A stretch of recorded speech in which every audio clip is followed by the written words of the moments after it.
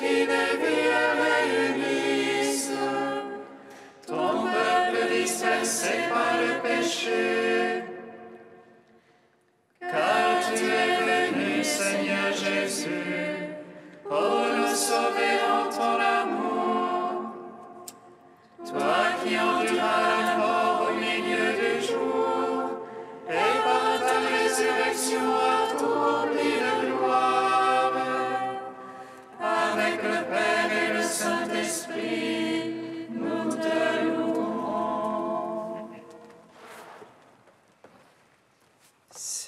nous mourrons avec le Christ, avec lui nous vivrons.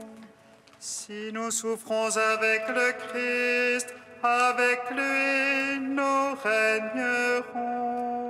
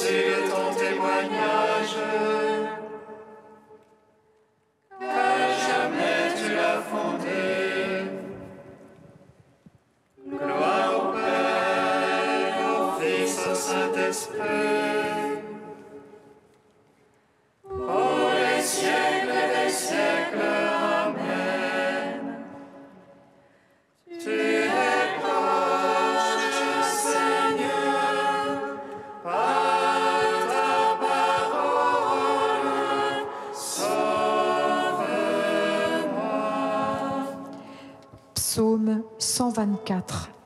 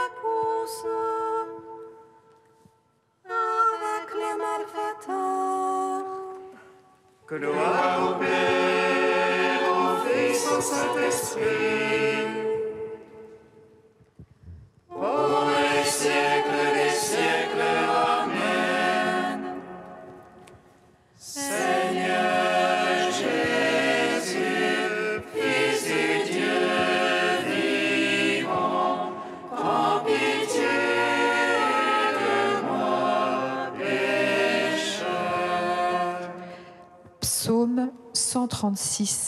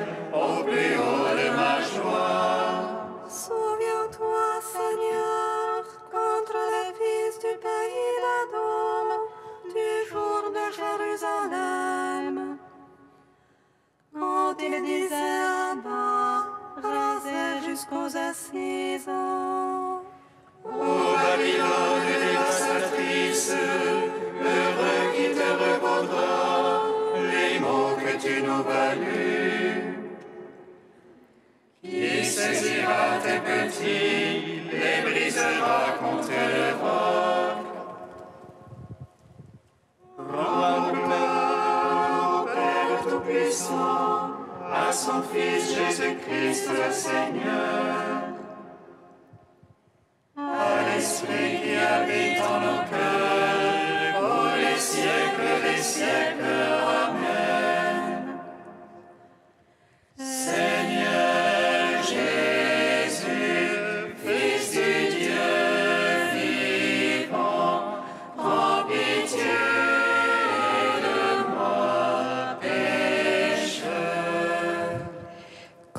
De Jonas, page 329.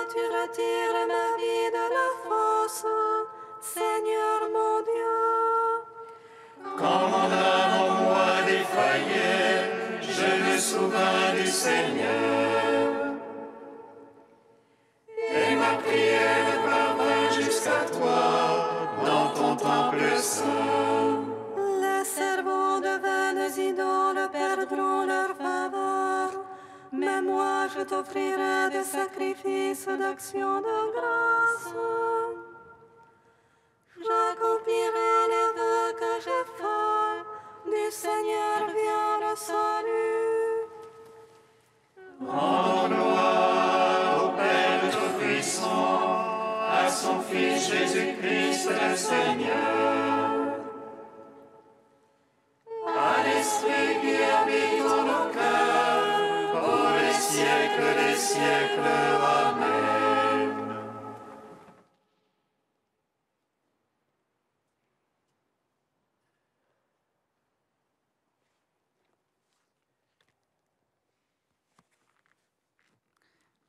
d'Olivier Clément, la prière de Saint Éphrem.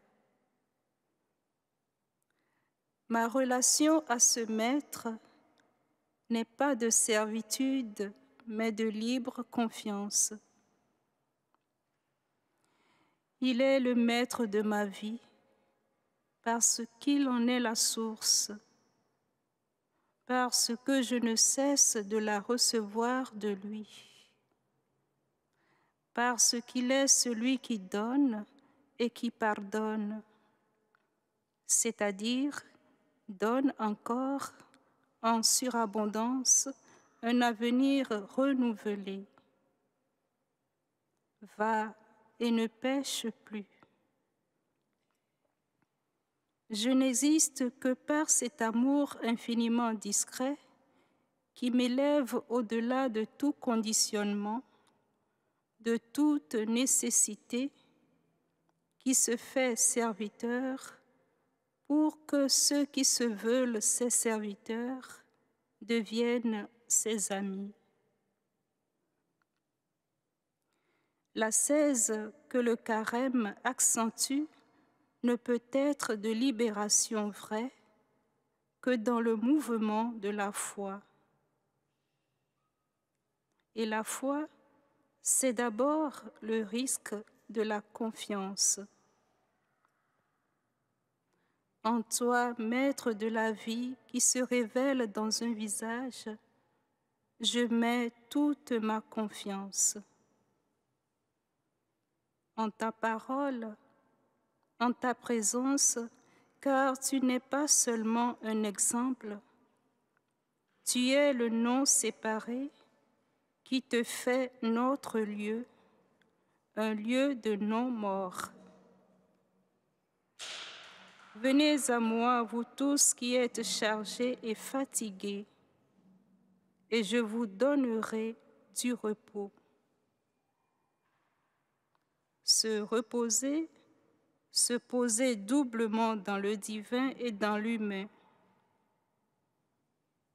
Un lieu pour nous orphelins de la terre natale, des sages coutumes, des civilisations certes âpres et dures, mais de silence et de lenteur pour nous nomades, sans poésie des mégapoles. Tu es le lieu de la vie, son maître.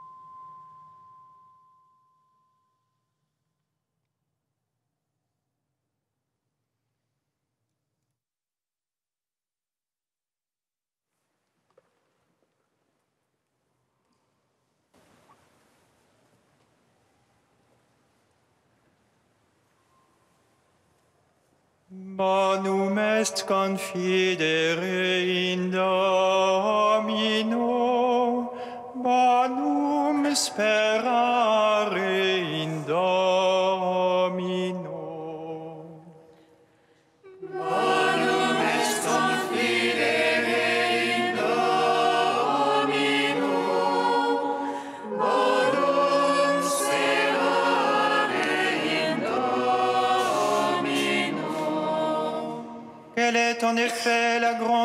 dont les dieux soient aussi proches Que le Seigneur notre Dieu est proche de nous.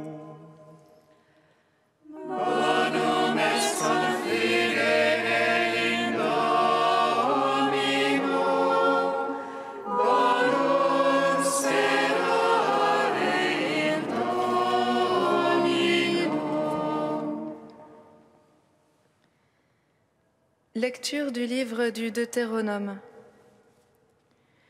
Moïse disait au peuple, Maintenant Israël, écoute les décrets et les ordonnances que je vous enseigne pour que vous les mettiez en pratique. Ainsi vous vivrez, vous entrerez pour en prendre possession dans le pays que vous donne le Seigneur, le Dieu de vos pères.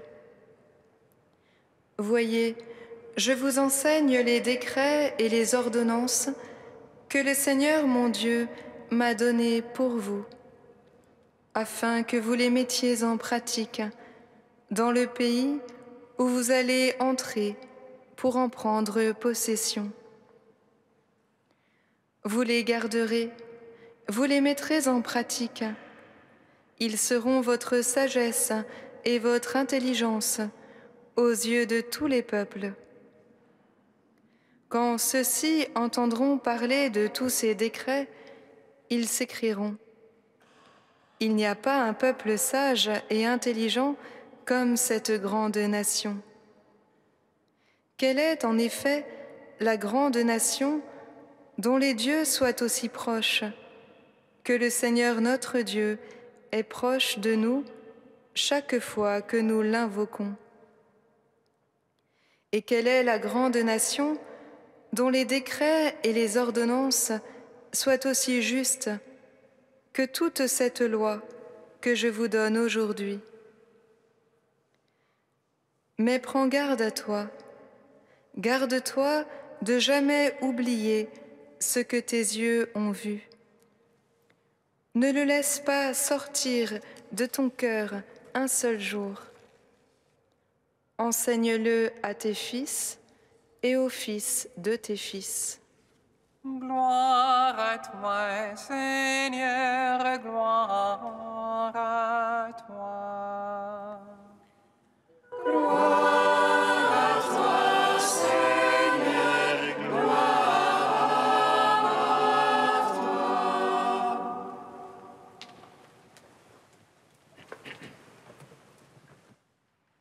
Chers frères et sœurs, Maintenant, Israël, écoute. Nous voici dans une sorte de schéma Israël, de supplique qui crée le peuple, la communauté.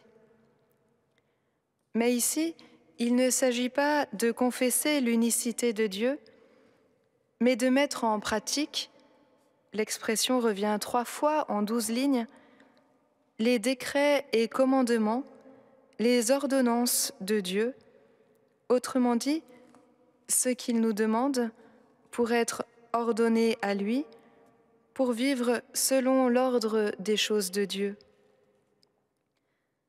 Car il y a un ordonnancement dans le monde, dans l'histoire. Dieu a choisi de faire de ce petit peuple son peuple, et d'une terre inconnue, sa terre promise à son peuple. Il a voulu se faire proche de tous les hommes par ce peuple dont est né le Christ. Qu'a eu ce peuple de plus que les autres? Moïse le dit ici, il a reçu des décrets et des ordonnances, donc une sagesse et une intelligence de l'ordonnancement du monde selon Dieu, de son dessein bienveillant, caché aux païens comme dit Saint Paul, est révélé dans le Christ. Il a eu surtout une promesse et une mémoire, la promesse d'une terre, gratuitement, et la responsabilité de la mémoire de cette alliance, fidèlement. Garde-toi de jamais oublier ce que tes yeux ont vu.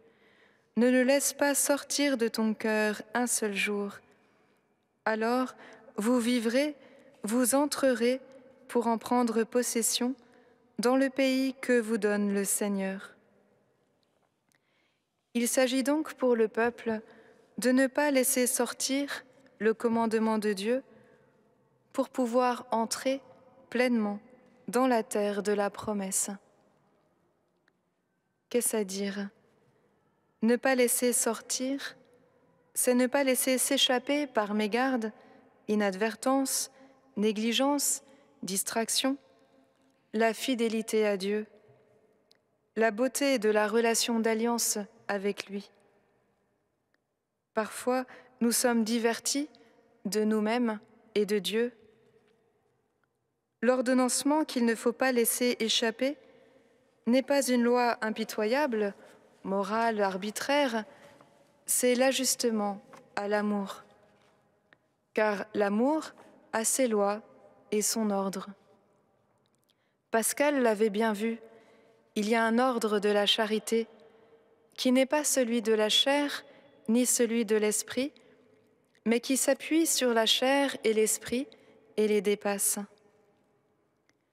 Garder la loi de Dieu, c'est rester dans l'ordre de la charité, y demeurer, y habiter, sans s'échapper soi-même dans le divertissement de celui qui refuse tout ordre et se plaît à une vie de désordre, une vie qui se croit libre car elle veut s'échapper de Dieu.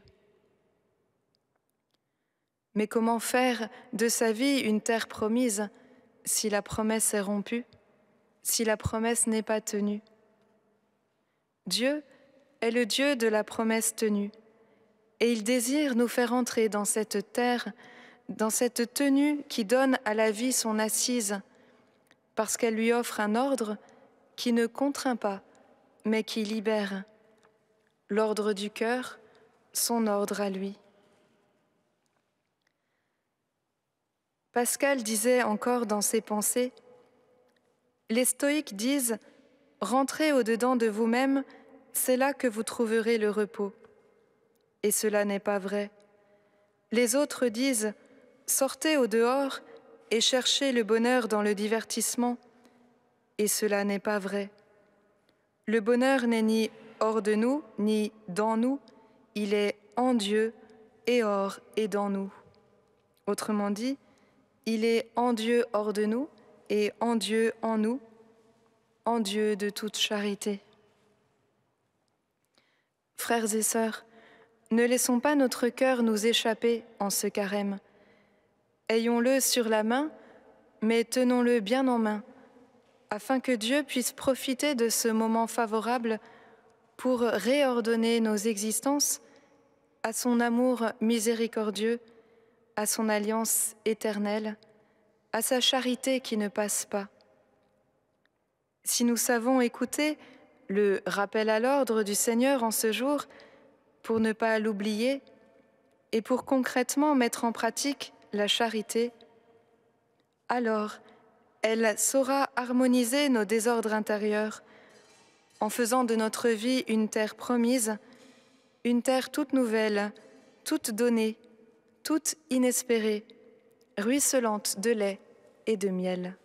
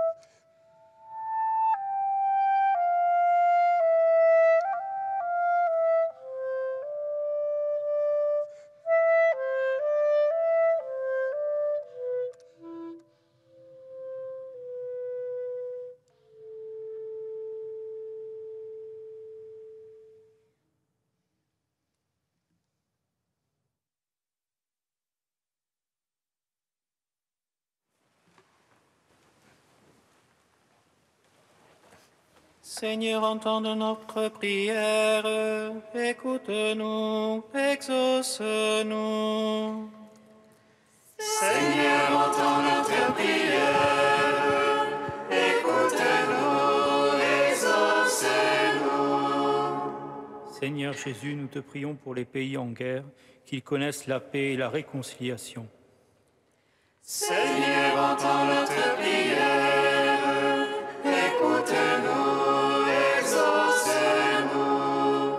Seigneur, nous te prions pour les personnes sans domicile fixe, qu'elles trouvent soutien et réconfort. Seigneur, entends notre prière, écoute-nous, exauce-nous.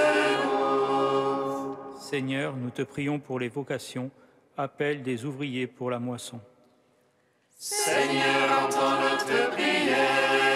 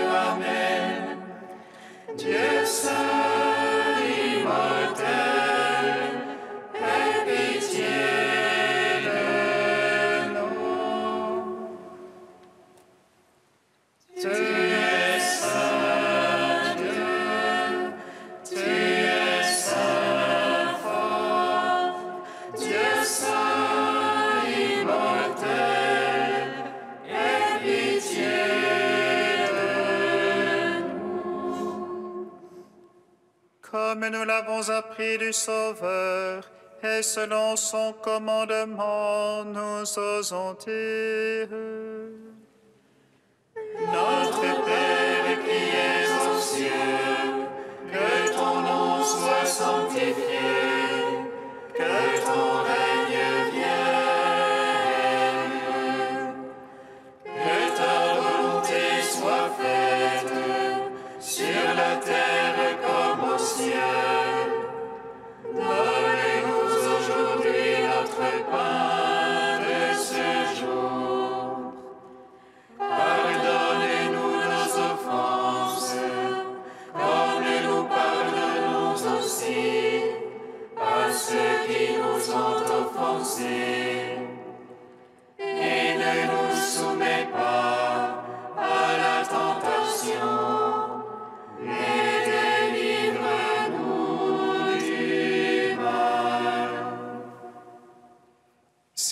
tu nous accordes ce temps de carême pour nous former à la vie avec le Christ et nous alimenter de ta parole. Que notre effort de pénitence nous obtienne la fidélité à te servir et le goût de te prier d'un même cœur. Par Jésus-Christ, ton Fils, notre Seigneur et notre Dieu, qui règne avec toi et le Saint-Esprit maintenant et pour les siècles des siècles. Amen. Amen. Bénissons